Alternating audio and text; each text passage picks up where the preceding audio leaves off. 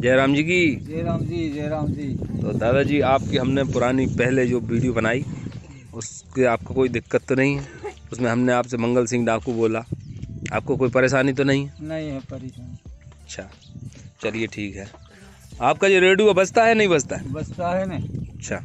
खबर आते हैं इसमें। क्या सुनते हैं आप इसमें? समाचार सुनते हैं। अच्छा। समाचार गाने पुराने गाने सुनते हैं आप? पुराना। अच्छा अच्छा।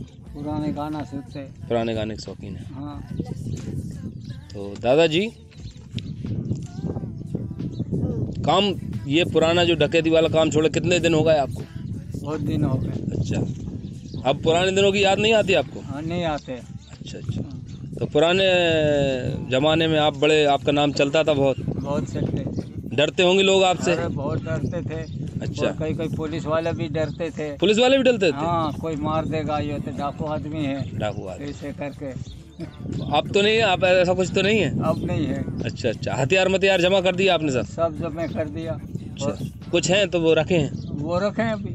ठीक है। सरकार कोई लेन घुमवा नहीं दे। अच्छा अच्छा। करवा नहीं दे इधर इधर बच्चे कितने हैं आपके? चार हैं। अच्छा। हाँ।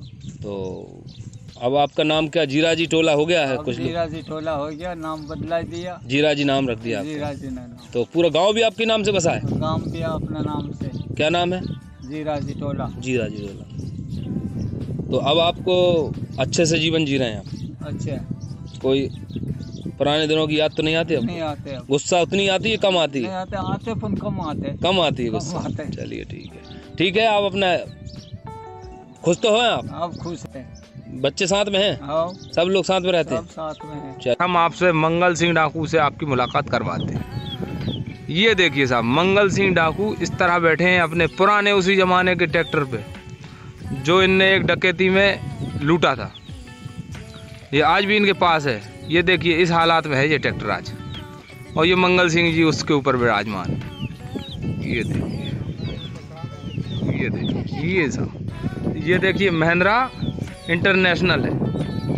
अंगद जी नाम है इसका ट्रैक्टर का। ये इनने एक लूट में डकैती जब डाली थी सन 1988 में।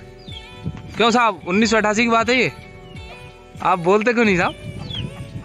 दादा मंगल सिंह जी, अब हम आपको डाकू नहीं बोलेंगे। तो ये आपने किस तरह लूट करी थी इसकी? बताइए कुछ। बंदूक के माध्यम से